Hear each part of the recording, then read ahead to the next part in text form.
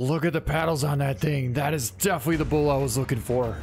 I was absolutely astounded at the amount of comments that we got in yesterday's video. Absolutely astounded. I couldn't believe how many of you guys commented on the video and took so much time to actually listen to what I was talking about and understand kind of just how important life actually really is. Now, a lot of people were asking questions that were pretty detailed, and they basically just wanted to know, is that... I just saw a bullet taken off over there. But they basically wanted to know exactly what happened to me, and honestly, it's too difficult to tell you exactly what happened because so many things happened. I just wanted to give you kind of like a brief description of what happened in a short period of time. But anyways, thank you so much. It really means a lot that you guys watched the video and commented on it and I don't even want to get into the likes. We had so many likes that it wasn't even funny.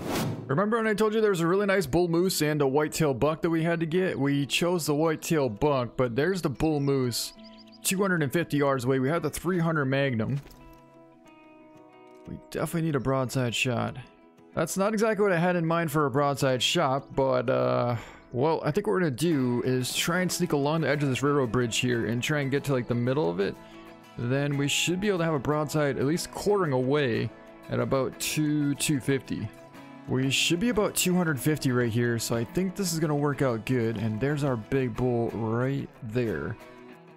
Man, I think we're going to have to hold right below the spine and try and catch kind of like the top of the heart. Because if we hold too high, we might hit that vertebrae and we do not want to do that.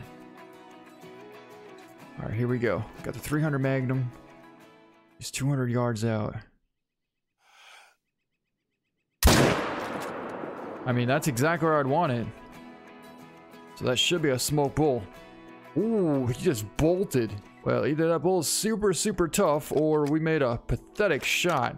Oh, hold up. We got a nice whitetail buck out there at about 240 yards. It's a tough angle. It's a real tough angle.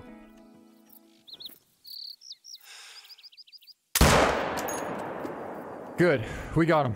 I actually held kind of on top of the lung because I wanted to get a little bit of drop. And the fact that he didn't drop is actually a good thing because if he would have dropped, that would have been a spinal cord shot. But that should have been a nice double lung shot. So we'll have to go over there in a second and see what we did over there. But right now, we're over here looking for our bull. And right there is a nice vital hit. That's where our bull was standing. Well, actually, he was technically bedded right here. And we saw him run at least like 250 yards. So hopefully we can figure out where he went. It's going to be kind of difficult. We got some more blood here. And here we have our big bull moose laying right here. Let's take a look at him. That's a solid bull. I saw him a couple different times now, and he's definitely a really wide, solid, solid bull. Let's pick him up and see how we did. That's going to be a 206 gold. We ended up getting a right lung shot at 190.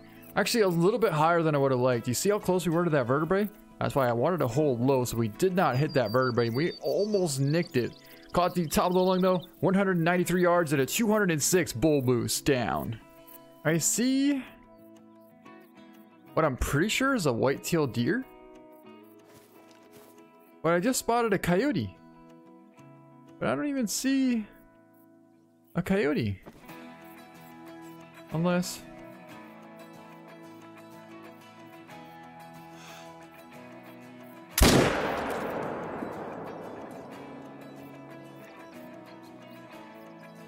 did I just shoot at? Oh man, I don't even know. I don't even know what's happening. I thought that was a white-tailed deer.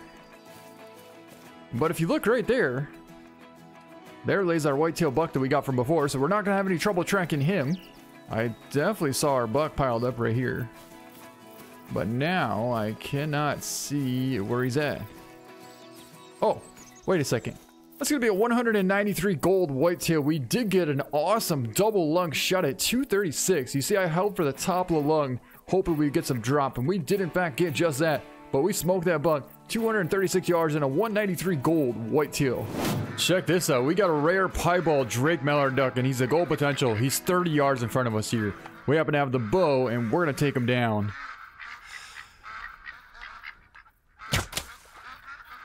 And there he lays right there.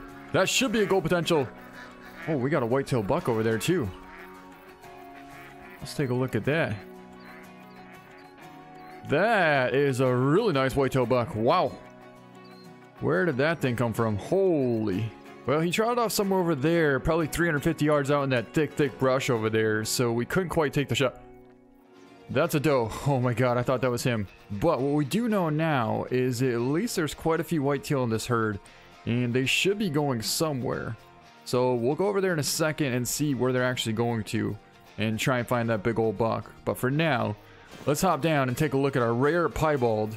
And here lays our rare gold potential Drake piebald mallard duck. We just took him out of that tent right there at about 20 yards out, and these things look incredible. Got some really good lighting there, and there's the tent we took him out of. Actually, that's going to be kind of a cool picture if we could take one just like that. And let's pick him up and see just how big he's going to be.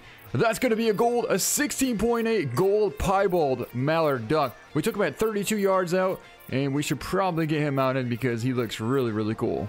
Okay, guys, so there's our buck right there. We slid over to roughly 250 yards out from him here. He's going to be trotting again. I really don't want to take a trotting shot, but he might slow up enough. This buck is absolutely hauling through here. And we just smoked him. He was about uh, 315 probably. There's the doe. I don't see the buck. And that's because he's down. Man, that was an awesome shot. I want to go back and take a look at how much of a lead we put on that buck. I would say probably about like four foot on the trot at about 330 yards.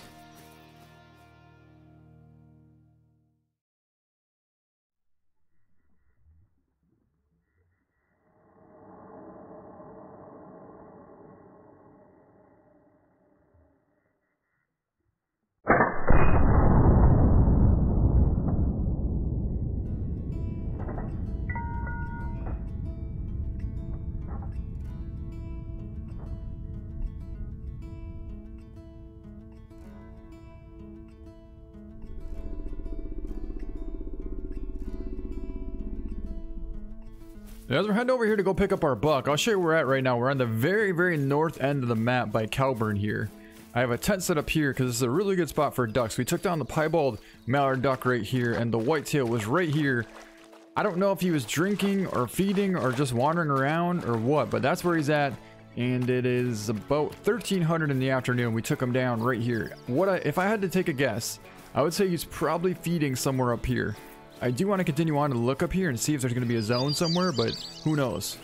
Well, he was standing right here, and that's looking like some pretty good vital blood right there. It looks like he was heading out this way. It's actually kind of hard to see the rest of the blood here, but you can see where all the grass is padded down here. That means the whitetail definitely came through here. So as long as we keep on this trail here, look, there's some more blood right there. It should lead us to our buck. Good blood there. And there lays our beautiful whitetail buck. I'm really curious where we actually did hit him. He was probably, like I said, about 315 on the trot. But that's going to be a really cool picture just like that. So we'll take a picture and let's pick him up and see how we did. That's going to be a 302 yard left lung shot. I mean, was that not a heart shot? Like how? Okay, how is this possible? We smoked him the left lung. It went through... Okay.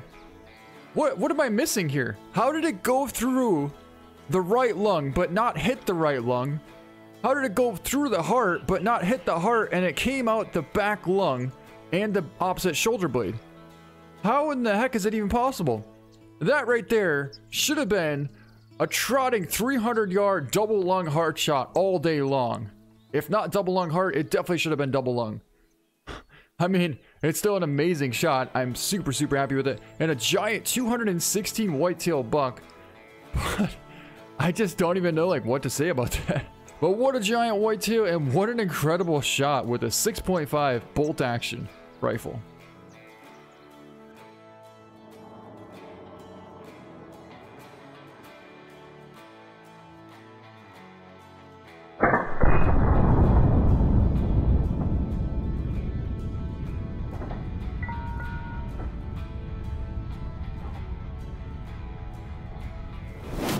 Look at the paddles on that thing. That is definitely the bull I was looking for.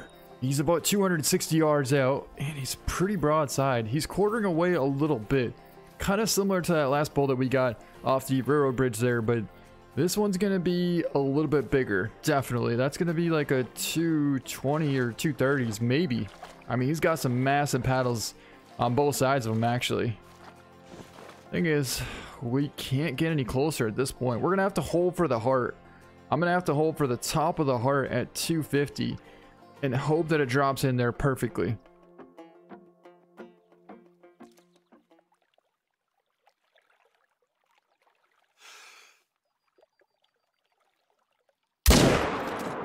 That was perfect. Just smoked that giant bull. That was absolutely perfect. I mean, if I had to take that shot again, I would do the exact same thing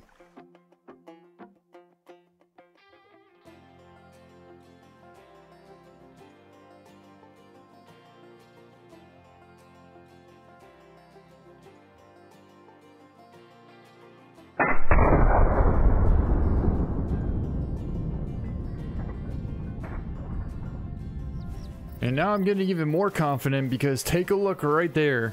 That's an awesome vital hit. And let's see if we can't find this big old bull moose. More blood here. More blood here. That's some blood there. And here lays our biggest bull moose yet. Right here. Take a look at the size of the paddle. That is an incredible looking bull right there. Honestly, I bet if he had both sides the same, he probably would have scored somewhere around like a, I don't know, 240 or 250 or something like that. Either way, he's definitely a massive bull. So we'll take a really cool picture of him. And that looks cool like that. Let's pick him up.